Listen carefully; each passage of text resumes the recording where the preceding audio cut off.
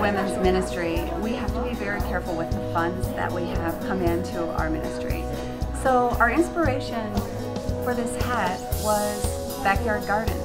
So we went outside into our backyards and we collected different flowers and greens and our designers assembled them into a simple, elegant, and upscale design.